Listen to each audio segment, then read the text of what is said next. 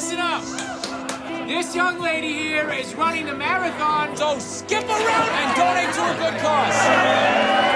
Hey, I'm gonna be there at the finish line for you. I'm gonna make a big sign for you.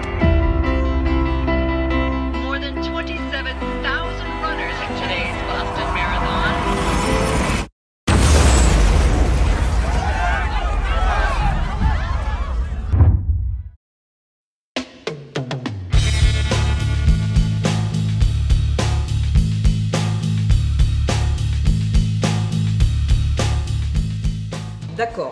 Je crois, hein, parce que c'est une adaptation, euh, le film est une adaptation du livre qui est la biographie euh, euh, du personnage principal. Donc a priori, et en plus il a participé à l'élaboration du scénario. Donc a priori, oui, oui, je crois que ça rend justice à la réalité.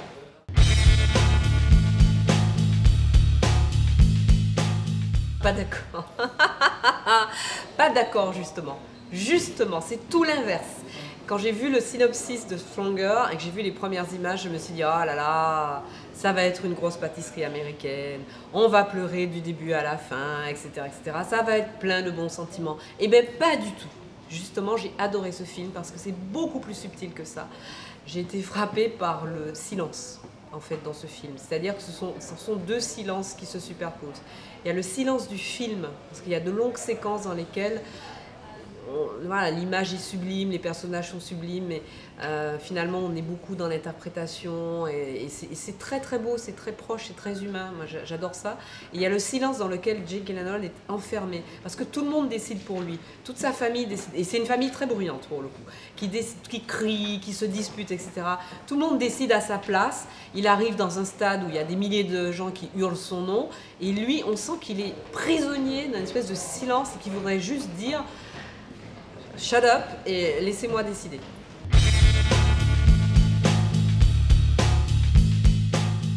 D'accord, Stronger, c'est un... Alors, d'abord, c'est pas... je trouve pas que ce soit un film 100% américain où on l'entend habituellement. Euh, et ensuite, oui, c'est universel parce qu'il touche, euh, en chacun de nous, absolument.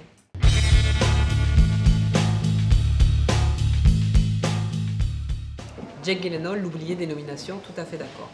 Et, et de façon totalement imméritée parce que, voilà, moi je trouve que dans ce film, du début à la fin, il est très présent dans le film évidemment, mais du début à la fin, il est toujours, toujours, toujours très juste dans son interprétation.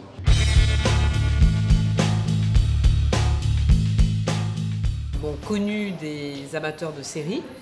Euh, on l'a vu dans quelques films, mais j'espère que ce film sera l'occasion pour elle de, complètement euh, énergiser euh, sa carrière parce qu'elle le mérite, elle le mérite bien. Et en plus, c'est une, je pense que c'est une vraie sportive. Il n'y a pas une doublure là qui, court le marathon et, qui s'entraîne.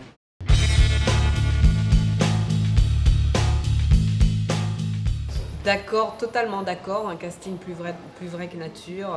la famille de Jake Gyllenhaal. Mais on se dit, c'est pas possible. Mais c'est pour ça d'ailleurs que ce film marche si bien. C'est que c'est vraiment.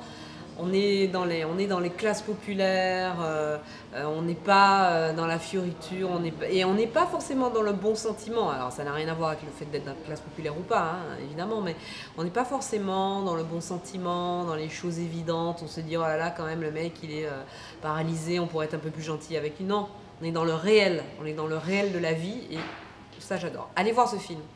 I can't! I can't do it! Why do you even want me?